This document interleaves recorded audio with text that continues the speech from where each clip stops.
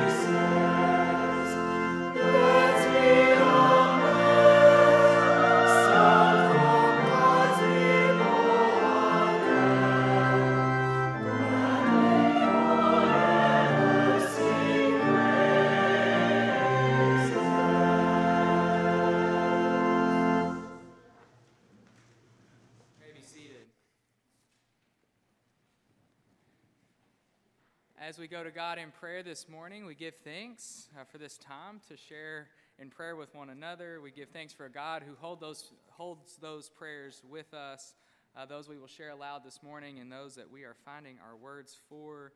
Uh, so we lift up a few specific prayer requests this morning. Uh, Dickie Houchins shared that his great niece, Chelsea Coleman's cancer has returned. Uh, so she will have chemo and a surgery. And so we pray for Chelsea's strength and resilience uh, during this difficult, difficult time. Uh, Lord, hear our prayer. Uh, Carolyn Boyd had neck surgery earlier this week, and so we pray with Carolyn as she rests and recovers and heals. Uh, Lord, hear our prayer. Uh, Crystal and her youngest, Nova, both got COVID last week. Um, everyone is getting better, uh, but continued prayers for their recovery. Uh, Lord, hear our prayer. Uh, and then Mac Mallory will be having surgery in Nashville on Thursday. Uh, and so we pray with him ahead of that and in the days to follow for a smooth surgery, uh, recovery, and healing. Uh, Lord, hear our prayer. Uh, let us continue in the spirit of prayer together.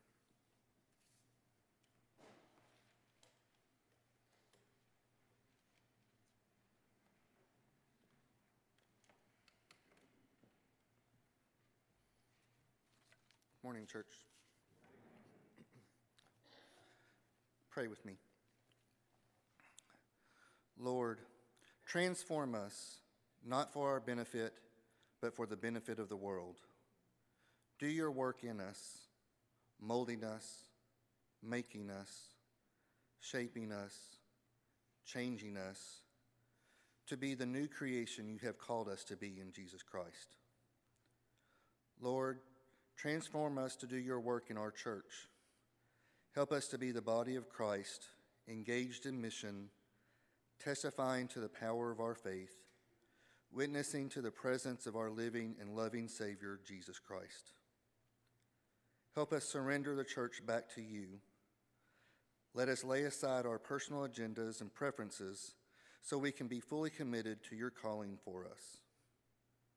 Lord, transform us to do your work in our world. Give us a vision of transformed lives, neighborhoods, and communities, and how we can partner with you to see what can happen when people of faith make an internal difference, living and loving like Jesus and giving themselves fully, heart, mind, and strength, to be the very presence of Jesus Christ in our world.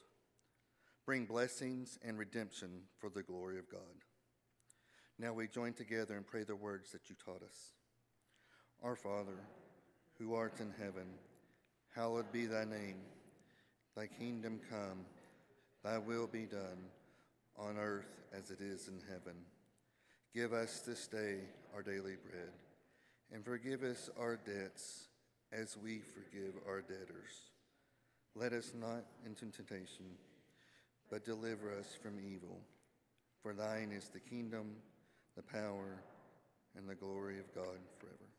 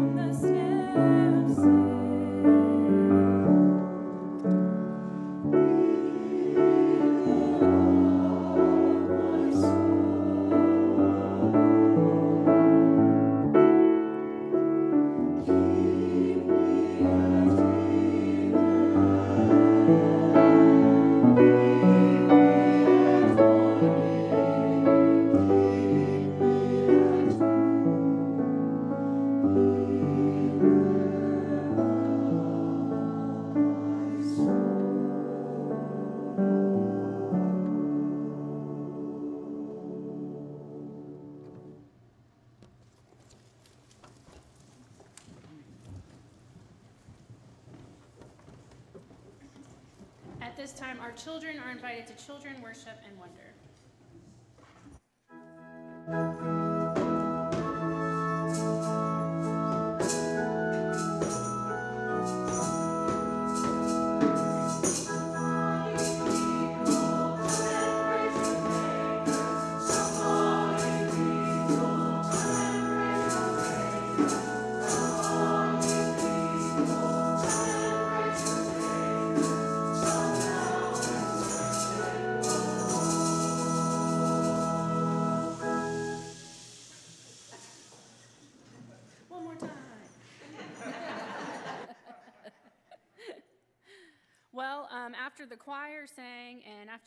Stephen's beautiful prayer, I don't. I feel like we we've heard a lot today. Um, at least I have. So I'm grateful to be here. Uh, Megan and I have. Well, Megan chose a difficult scripture last week, and I also chose what I think is a strange one this week. So um, we're going to read from Lamentations today, chapter 3, verses 19 through 23. The thought of my affliction and my homelessness is wormwood and gall. My soul continually thinks of it and is bowed down within me. But this I call to mind, and therefore I have hope. The steadfast love of the Lord never ceases. His mercies never come to an end. They are new every morning. Great is your faithfulness. This is the word of the Lord, and in it we can trust. In the Hebrew Bible, the book of Lamentations is known by the first word of the book, how, or ikah. That makes perfect sense for anyone who has ever experienced the loss and destruction that gives birth to lament. When facing such tragedies, our first word is often a question like, how, or why, or even in keeping with the psalmist and the authors of these grief poems and Lamentations, where were you, God? We have asked these questions ourselves. COVID still threatens our everyday lives. Why, God? We're still recovering from a tornado that devastated our community over a year ago. Where were you, God? Food insecurity continues to increase as grocery prices rise. How do you let this happen, God? We've been living through a prolonged season of lament, of ikah, of how. And if we're being honest with our full selves, many of us are walking through our days with a heaviness and a weariness of heart that makes it hard to rise up out of bed each morning. Yet, when reading our text this morning, we hear the steadfast love of the Lord never ceases. His mercies never come to an end. They are new every morning. Great is your faithfulness. In the midst of our despair, lament, doubts, and questions, we turn to a God who is always there, always faithful, always loving. Lament is acknowledgement of pain and the first step towards hope. The last several years have been tough on our families, our community, and our world. And I'm not expecting us as individuals or a church family to just let it go or leave it behind without difficulty. We may be working through the impact of our trauma for years to come. But I do believe that we are in a unique position to hope, to hope for something new and exciting that we may have never been able to imagine before, to hope for the courage to step out and do church differently, to hope for the opportunity to take risks, make mistakes, and try again. And from that hope comes action. So we ask the question again how? How do we move forward, God? How do we live into this new normal as church? How do we continue to be an inclusive faith community built on the love of Christ? God, where are you calling us to go? What are you calling us to do? And we remember these words the steadfast love of the Lord never ceases, his mercies never come to an end. They are new every morning. Great is your faithfulness. We've been talking about FCC's vision for the past five weeks a future with hope, stepping out in faith. We discerned it, we wrote it, we shared it, we blessed it. We have a vision, now let's do it. It's not going to be easy, it's going to take time and patience, growing pains, as Megan talked about last week, and setbacks. Yet I can confidently say that we are up for the challenge, and when we get discouraged or fatigued, we will remember that the steadfast love of the Lord never ceases.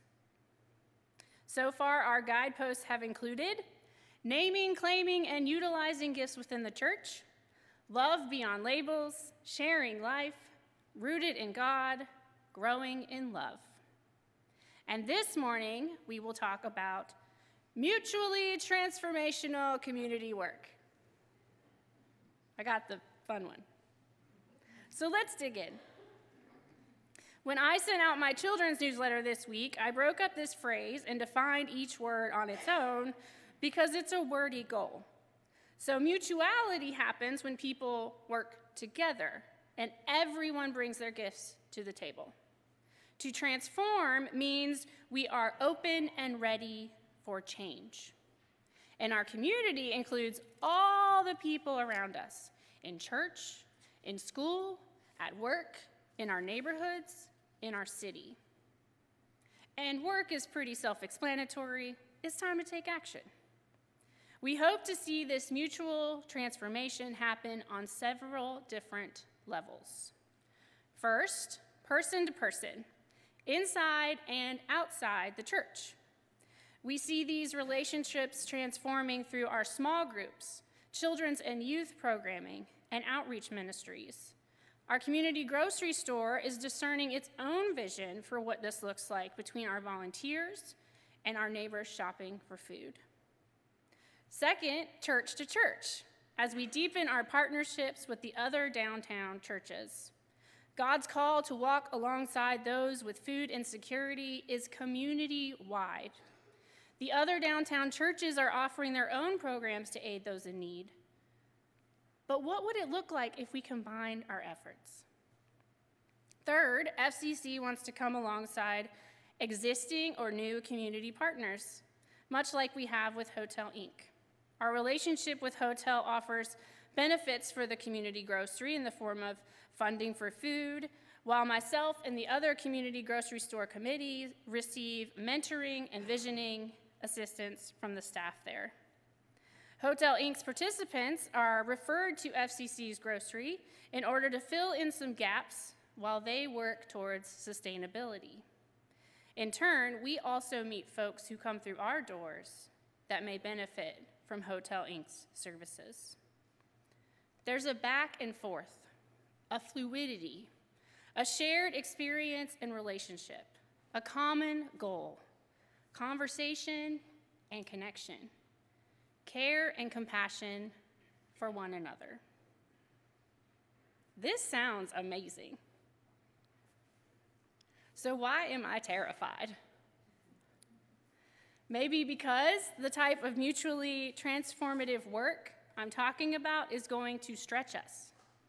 It's going to make us really uncomfortable. I'm already uncomfortable.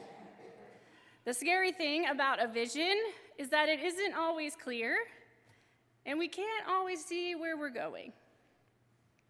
When I consider the other five guideposts, the next steps seem pretty obvious because we've already started taking them. We want to share life, so we have coffee hour following worship, and we invite everyone to come to our fellowship dinners once a month. We want to grow in love, so we form new small groups while supporting those that already exist. We want to love beyond labels, so we will renovate our facility to reflect the inclusive welcome and hope found in our sanctuary. We want to be rooted in God, so we invite our, our uh, three year olds to second graders to worship and wonder, and our third through fifth graders into a space to learn about how the Bible applies to their lives. And we want everyone to use their gifts and passions in the church so we sent out a survey and plugged people in based on the results. But transformation is tricky. And when you do it alongside others, it can be scary. It requires trust, commitment, and compassion. It is not something that can be rushed, but is long term work. So I have to be honest when I came in this morning, I was feeling pretty discouraged about my sermon because I hate not knowing what the future will hold. But then I came into church and realized that it's okay to be frustrated and scared because I'm not alone. I'm not doing this work by myself. We have an amazing staff that love to collaborate and brainstorm. We have members who have been here their whole lives who will guide us to stay true to who FCC is. And we have new members and friends who will challenge us to try new things. God has called us to move forward together. You might not know that the small poetic book of Lamentations was composed during the fall of Jerusalem to the invading Babylonian armies. God's people lost their homes, their livelihood, their place of worship, yet they were able to find hope, the hope they needed to carry on in spite of the losses they faced. They moved forward without a clear path to follow, and we will too. Because however deep the fear, however difficult the situation, we will rely on the steadfast love of God and give ourselves over to the one who is always the source of our hope. Great is God's faithfulness indeed. Amen.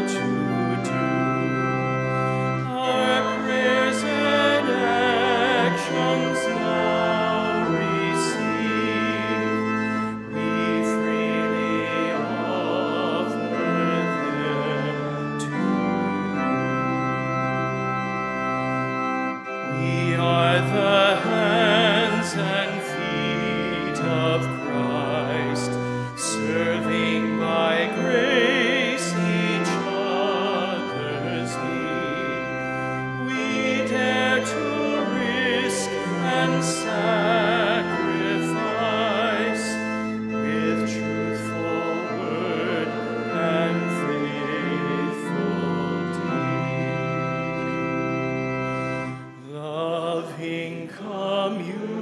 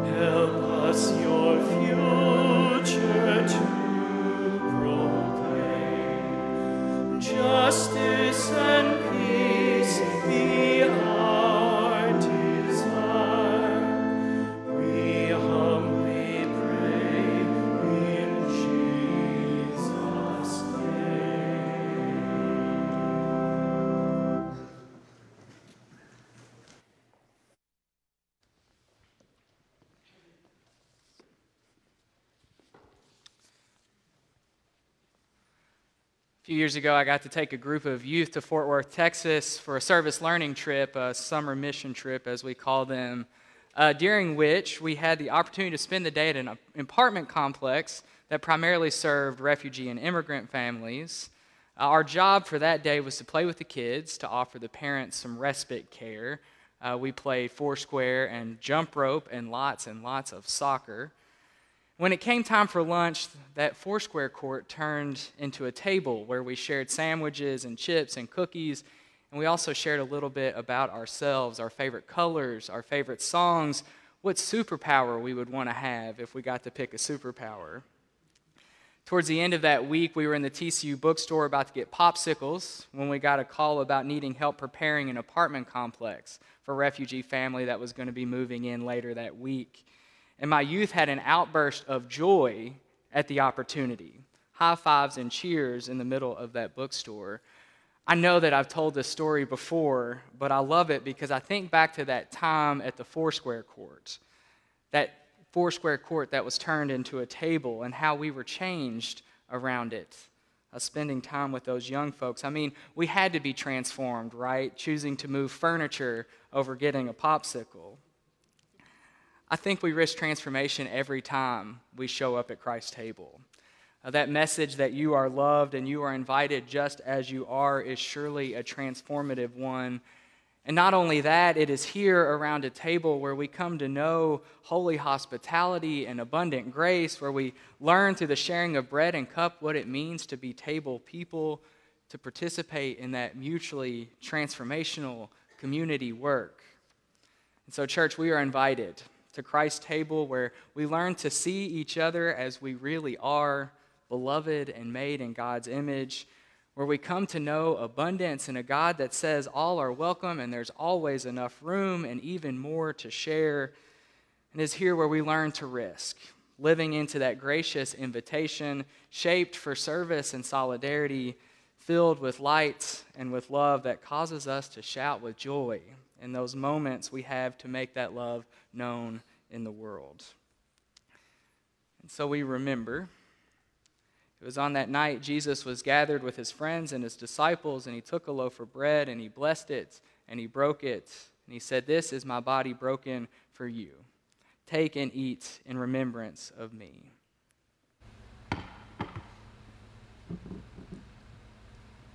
In the same way, after the supper, Jesus took the cup and he blessed it and he poured it out. He said, This is the cup of the new covenant. Each time you drink of it, do so in remembrance of me. This is the bread of life and the cup of God's love for you. All are welcome at Christ's table. Let us pray. Our Heavenly Father, how I praise you and thank you that you are a gracious, loving, and long suffering God. You are faithful even when we're not. We ask you in the name of your Son, Jesus Christ, to bless the bread and the wine to the souls of all of us who receive them today, that we might eat and drink in remembrance of the body and the blood of your Son. Lord, we celebrate your unfailing love, a love that is new every morning, a love that is steadfast and sure. Wait, may we feel a renewed spirit as we share communion today. Amen.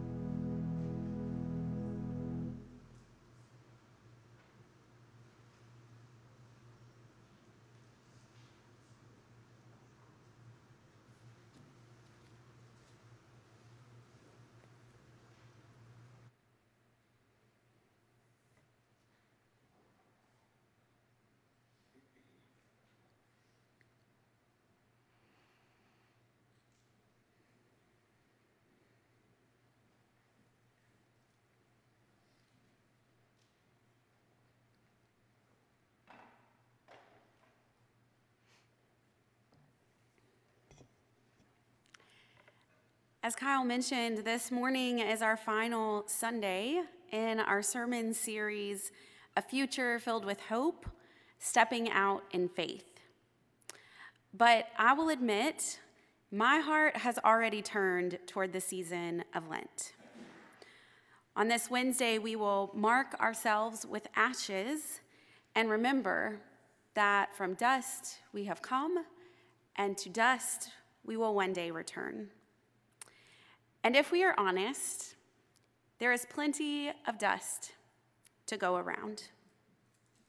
Who among us can fathom the depth of loss in the wake of an earthquake in Turkey? Who here can stomach the news of yet another oil spill and another polluted river?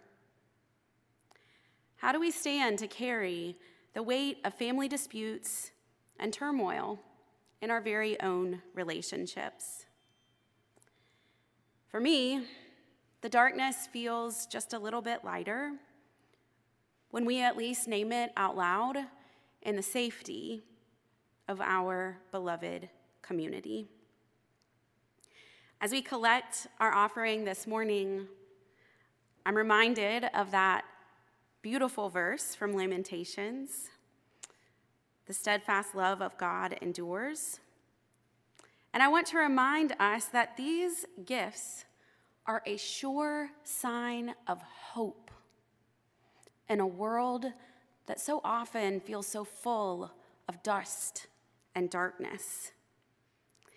Today, you may have noticed the signs. It is designated as Week of Compassion Sunday, and the gift of being in covenant with other disciples, congregation, congregations around the country is that through Week of Compassion, we already have partners on the ground in places like Turkey and Syria.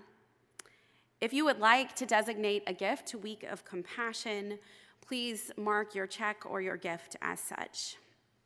And also, amidst darkness, grief, and loss, your church gathers for worship, sets the table, and gathers in small groups to bear one another's burdens.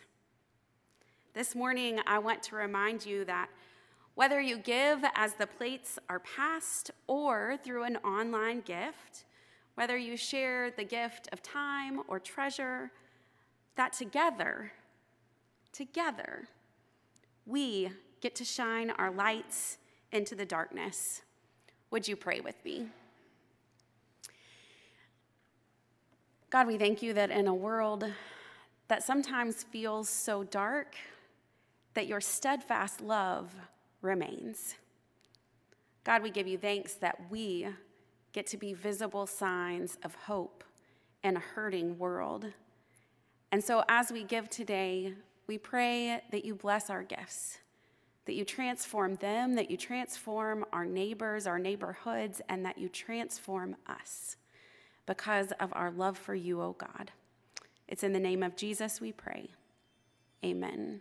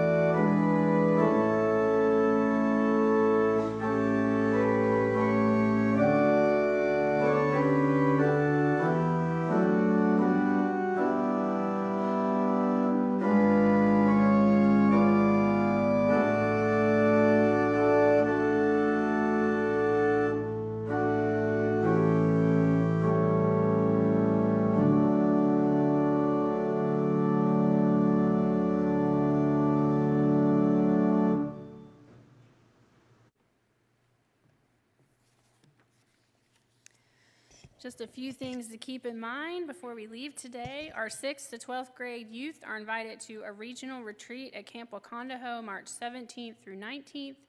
The deadline to sign up is this Wednesday, February 22nd. Um, so this is our last call for signups, so get signed up now. Um, Ash Wednesday worship will be this Wednesday at 6 p.m. Our theme is Seeking Honest Questions for Deeper Faith. In this week's e news, there will be a link to a devotional that will accompany our sermon series. Our study materials come from Sanctified Art, um, the same one we used last year. Next Sunday at 5 p.m., we- we will be having a fellowship meal in Carter Hall, and Daniel will share about his experiences in Israel and Palestine. We will share an RSVP link in the e news on Wednesday, so please let us know if you plan to attend. The meal will be provided by the FCC Readers Book Club. They will be serving soup and salad. The Lamplighters will be having their first lunch at the church on March 7th.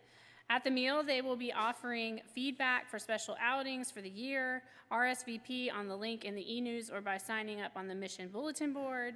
The mission of the Lamplighters is to be a community of seniors, retired adults, and friends building relationships with one another in the church, the community, and with God. And on Sunday, March 5th, FCC will be hosting the choir from Thomas More University. Um, if you'll remember, they came uh, back in 2019, but before COVID. Um, they will be performing in our sanctuary at 7:30 p.m. Um, and they are looking for host families for 20-ish students uh, that will be coming to perform. So if you're interested, please email Matt Herman at matthew.herman at wku.edu, or you can talk to me and I can get you connected to Matt. Um, the students, this is one of their favorite stops on their tour um, the last time they came through, so you guys are great hosts, so let's just be great hosts again. All right, let us rise for a benediction.